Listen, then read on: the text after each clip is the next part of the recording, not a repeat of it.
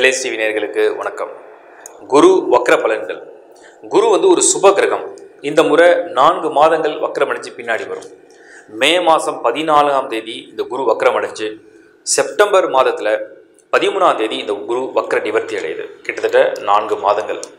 So குரு வக்ரம் அடைஞ்சா நன்மை தருமா தீமை தருமா? பன்னிரெண்டு ராசிகளுக்கு என்ன பண்ணுன்றதை டீட்டெயிலாக பார்ப்போம். முதல்ல குருவை பற்றி பேசிக்காக நீங்கள் ஒன்று தெரிஞ்சுங்க. அது ஒரு சுப கிரகம். ஒரு சுப கிரகம் வக்ரம் அடையும் பொழுது கெடுபலனை அதிகம் தர்றது கிடையாது. சுப கிரகம் வக்ரம் அடையும் பொழுது இன்னும் சுபத்தன்மைகள் என்னென்னலாம் விடுபட்டு இருக்கோ என்னென்னலாம் நம்ம பாக்கி வச்சுருக்கோமோ அதை வந்து மீண்டும் செய்வதற்கு ஒரு வாய்ப்பை உருவாக்கி கொடுக்கும். அப்படி தான் அந்த குரு.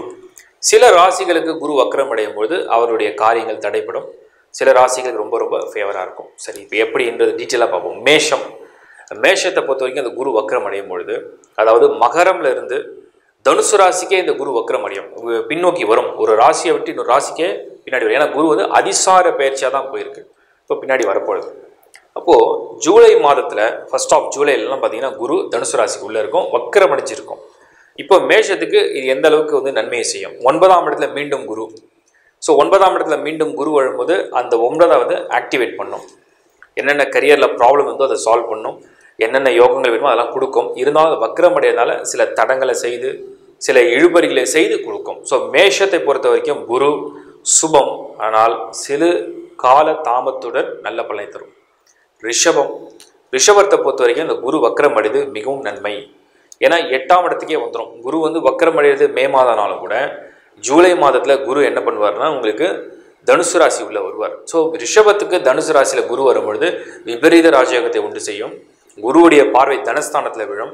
குரு வக்ரம் அடைகிறது ரிஷபத்துக்கு இன்னொரு பெரிய அட்வான்டேஜ் ஒரு சுப கிரகம் அந்த லக்னத்துக்கு பாவ கிரகம் அசுப அசுப கிரகம் வக்ரம் அடையும் பொழுது அதிகமான நல்ல பலனை ரிஷபத்துக்கு கொடுக்கும்.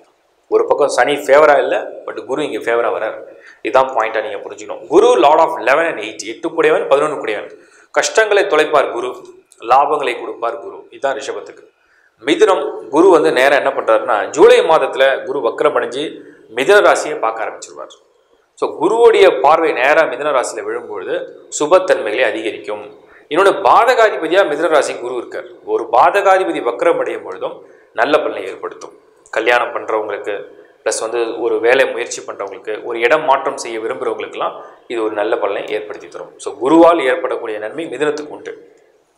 அடுத்தது கடகம். கடகத்துக்கு குரு ஒரு யோக கிரகம். ஒரு யோக கிரகம் வக்கரம் அடையிறது அதுலேயும் ஆறாவது வீட்டுக்கு மீண்டும் வருவது இதெல்லாம் வந்து அவ்வளோ விசேஷமாக இல்லை.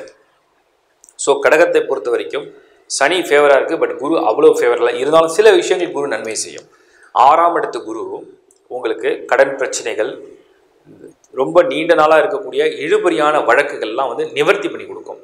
வெறும் பேச்சு மூலிமா வாய் வாய் பேச்சு மூலியமாகவே அதை வந்து சரி பண்ணி கொடுக்கும். அந்தளவுக்கு குரு நன்மையை செய்யும் கடகத்துக்கு. ஸோ குரு கடகத்துக்கு கடன் தேவைப்படுறவங்க யாருக்கெல்லாம் கடன் வேணும்னு நினைக்கிறாங்களோ அந்த கடன் ஏற்பாடு பண்ணி கொடுக்கும். பொருளாதார ரீதியாக என்னென்ன கடன்கள் தேவையோ கடன் ஆதரவு தேவையோ அது கிடைக்கும். ஸோ கடகத்தை பொறுத்த வரைக்கும் குரு ஒரு செமி குட் செமி பேட்னு எடுத்துக்கலாம். சிம்மத்துக்கு குரு வக்ரம். சிம்மத்துக்கு இப்போ ஆறாம் இடத்துல உள்ள குரு வக்ரம் அடைகிறது மே மாதம். மீண்டும் அவருடைய என்ட்ரி ஜூலை மாதத்தில் குரு வந்து என்ன பண்ணுறாருன்னா ஜூபிட்டர் வந்து உங்களுக்கு அந்த சஜிட்டாரஸ் அதாவது தனுசு ராசிக்குள்ளே வரார் ஒன்ஸ் தனுசு ராசி உள்ள குரு வரும்பொழுது குருவுடைய பார்வை மீண்டும் சிம்மத்துக்கு விழும். வக்ர நிவர்த்தி அடைஞ்சிரும் செப்டம்பரில். இருந்தாலும் அந்த குருவுடைய பொசிஷன் எப்போ அஞ்சாம் இடத்துக்கு வருதோ அவருடைய பார்வை பலம் சிம்மத்துக்கு இது வரைக்கும் தடைப்பட்ட காரியங்கள்லாம் ஒரு ஃபேவரபுளாக நடக்க ஆரம்பிக்கும். ஒரு பாசிட்டிவான மைண்ட் செட் வரும். ஏதாவது ஒரு நல்லதை செய்யணுன்ற எண்ணங்களை வந்து அது ஊக்குவிக்கும். வக்கரமாக இருக்கிறதுனால என்னென்னா ஒரு கோபதாபத்தோட ஒரு வேகத்தோட ஒரு அலைச்சலோடு பண்ணும் சி வக்கரம்ங்கிறது நம்ம கொஞ்சம் ஃபோர்ஸாக ஏதாவது பண்ணுறது தான் நல்லது செஞ்சாலும் கொஞ்சம் ஃபோர்ஸ்ஃபுல்லாக பண்ணும் ஸோ சிம்மத்தை பொறுத்த வரைக்கும் குருவுடைய இந்த வக்கர காலம் ஓரளவுக்கு சுபமான காலமாக நம்ம அக்செப்ட் பண்ணிக்கலாம். அடுத்தது கன்னி. கன்னியை பொறுத்த வரைக்கும் கேந்திராதிபதியை தோஷம் பெறுற ஒரு கிரகமாக தான் இந்த குருவை நம்ம பார்க்குறோம். இன்னொன்று பாதகாதிபதியாகவும் குரு இருக்கார். ஒரு பாதகாதிபதி வக்ரம் அடைஞ்சு நான்காம் இடத்துக்கு வர்றது நல்லது. ஸோ கன்னியை பொறுத்த வரைக்கும் இந்த குரு வக்ர காலம் ஒரு சுபமான காலமாக எடுத்துக்கலாம். இன்னும் சொல்ல போனால் யாராவது வாகனம் வாங்கணும்னு ரொம்ப நாள் ஆசைப்பட்டீங்க. நடக்காமே இருக்குது இந்த குரு வக்ரம் அதை நிறைவேற்றி கொடுக்கும். வீடு வாங்கணும்னு நினச்சிங்க வீடு மாற்றணும்னு நினச்சிங்க கிரகப்பிரவேசம் பண்ணணும்னு நினச்சிங்க அதுக்கும் இந்த குரு நல்ல பலனை தரும்.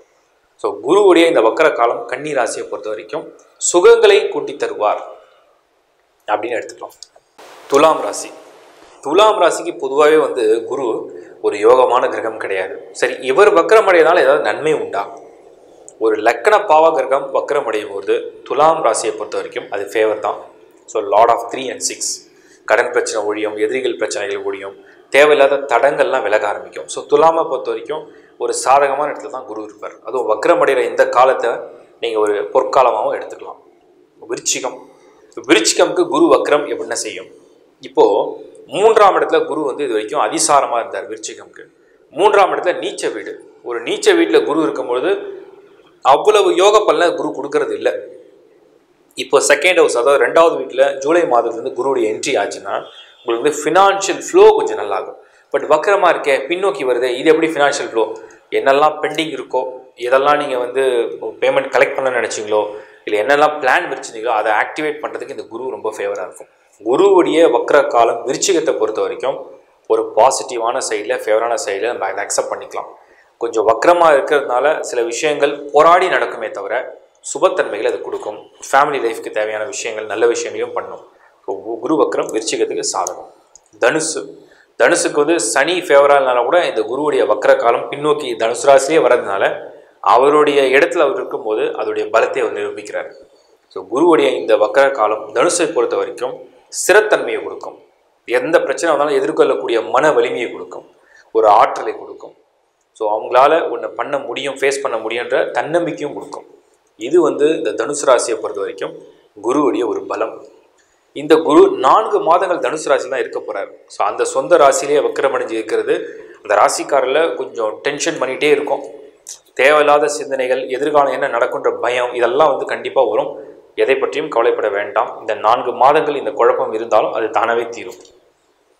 மகரம் மகரத்தை பொறுத்த வரைக்கும் குரு வக்ரம் ரொம்ப ஃபேவர் ஆக்சுவலாக சனி வக்ரம் வந்து ஃபேவராக இல்லை பட் குரு வக்ரம் ஃபேவராக இருக்குது ஸோ ஃபினான்ஷியல் பிளானட் குரு வக்ரம் அடையும் பொழுது மகரத்துக்கு குருவால் ஏற்படக்கூடிய தொந்தரவுகள் கிடையாது. ஒருவேளை குரு தசை நடக்கிறதா இருந்தால் அப்போ தான் சில விஷயங்களை அது வந்து ப்ளஸ் மைனஸில் கொண்டு போகும். பட் வக்ரம் எப்போவுமே வந்து மகரம் கும்பத்தை பொறுத்த வரைக்கும் குரு வக்ரம் அடைகிறது அவங்களுக்கு அது சாதகமான பலனை தான் ஏற்படுத்தும். மகரத்துக்கு இதில் இருந்த என்னென்ன இடையூறுகள் என்னென்ன அப்சக்கல்ஸ் இருந்தோ அதெல்லாம் வந்து விலக ஆரம்பிக்கும். அதுக்கு அடுத்தது கும்பம். கும்ப ராசியை பொறுத்த வரைக்கும் lord of two and eleven ரெண்டு கூடியவன் பதினொன்று கூடியவன் பதினோராம் இடத்துல வக்கரமடைஞ்சு பின்னோக்கி போகும் பொழுது இது வந்து ப்ராஃபிட் அண்ட் கெயின் லாபகரமான திட்டங்களை தீட்டிகிட்டே இருப்பாங்க. இது எப்படின்னா சனி பன்னிரெண்டாம் இடத்துல வக்கரமடைஞ்சு போகும் குரு பதினோராம் இடத்துல வக்கரமடைஞ்சு போகும். ஒரு பக்கம் இழப்பு விரயங்கள் பிரச்சனைகள் வந்துகிட்டே இருக்குது கும்பத்துக்குன்னு வச்சுப்போம். இன்னொரு பக்கம் அதில் என்ன லாபம் பார்க்கலாம் அதில் என்ன கெயின் பண்ணிக்கலாம் அதில் என்ன ப்ளஸ் பண்ணிக்கலாம் அதில் என்ன ப்ராஃபிட் பண்ணலாம்னு சொல்லிட்டு இந்த குருவுடைய மூவ்மெண்ட் வந்து ஹெல்ப் பண்ணிகிட்டே இருக்கும்.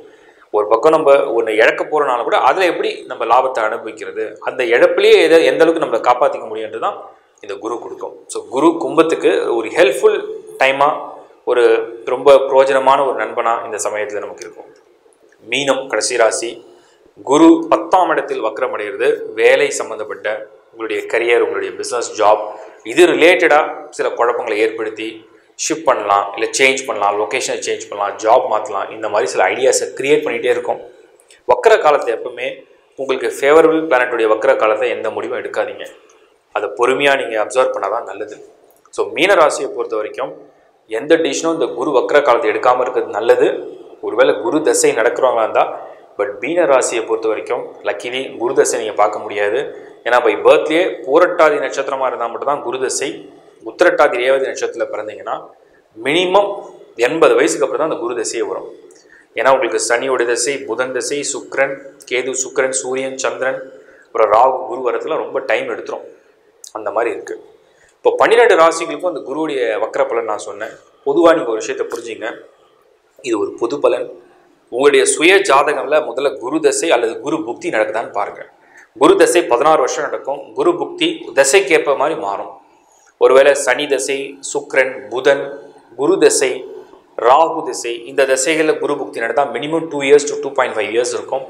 மற்ற திசைகளான சூரியன் சந்திரன் அங்காரிகன் கேது நடந்தால் ஒரு ஒன் இயர் இல்லைனா நைன் மந்த்ஸ் அந்த மாதிரி இருக்கும். ஸோ இந்த குரு தசை அல்லது குரு புக்தி நடக்கிறவங்களா இருந்தால் இந்த குருவுடைய வக்கர பலனை இன்னும் நீங்கள் டீப்பாக கேட்ச் பண்ணிக்கலாம். உங்கள் பேர்த் சார்ட்லேயும் குரு எப்படி இருக்கான்னு பாருங்கள் சில பேருக்கு ஆறாம் இடத்துல குரு இருக்கும். கடனாக வாங்குவாங்க நோய்கள் படுவாங்க. சில பேருக்கு பார்த்தீங்கன்னா எட்டாம் இடத்துல குரு எப்பவுமே பொருள் விரயமாயிட்டே இருக்கும். சிலருக்கு பன்னிரெண்டாம் இடத்துல குரு அதுவும் அவங்களுக்கு விரயங்கள் பண்ணிகிட்டே இருக்கும். ஒரு சிலர் குரு பதினொன்றில் போயிருக்கும் அவங்களுக்கு நல்ல ப்ராஃபிட் அண்ட் கெயின் கிடைக்கும். ஸோ குருவுடைய பொசிஷனை முதல்ல ரீட் பண்ணுங்கள் குரு வக்ரமாக இருந்தாலும் பெரிய தப்பு கிடையாது. வக்ரம் இல்லாமல் இருந்தால் அது லக்கணத்துக்கு யோகமான கிரகமாக இருந்து வக்ரம் இல்லாமல் இருந்தால் நல்லது. லக்கணத்துக்கு பாவ கிரகமாக இருந்து வக்ரம் இருந்தால் நல்லது. நீங்கள் ரெண்டு வகையாகவும் புரிஞ்சுக்கணும்.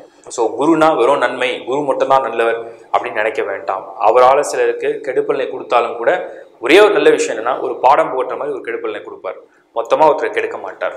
பட் சில லக்னங்களுக்கு குரு வந்து ரியல் லைஃப் பாடத்தை கொடுப்பார். அந்த பாடம் நமக்கு போதும் போதுன்ற மாதிரி இருக்கும்.